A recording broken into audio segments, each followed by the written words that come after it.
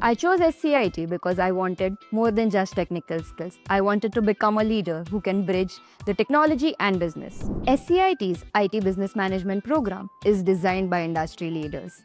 Here, we learned to apply frameworks in digital transformation, IT strategy, consulting, and more, all while getting hands on experience through case projects.